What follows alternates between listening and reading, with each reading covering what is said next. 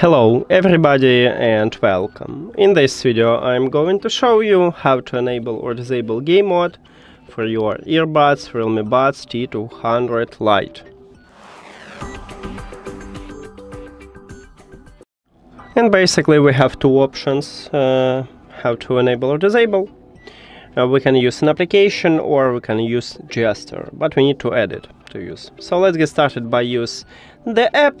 You need to open Realme Link application. Of course, your earbuds should be added to the app. Then you will see them at the device list. Tap at your earbuds and right here we have game mode. To enable it, you need to tap one time at the slider near to it if the slider have empty background. To disable it, you need to also tap one time at the slider, but if the slider have colorful background. Uh, and as I said, we can also add it to the gesture, so we need to go in the uh, earbuds menu, go to the button settings, and we can add it only for the press and hold.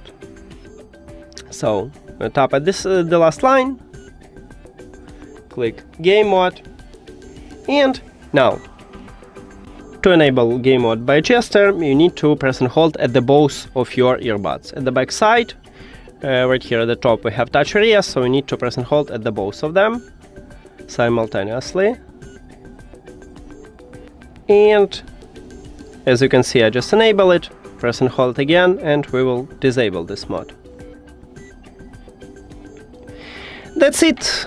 Thank you for watching this video. If you found it helpful, please consider subscribing to channel and leave the like on the video. See you later thank you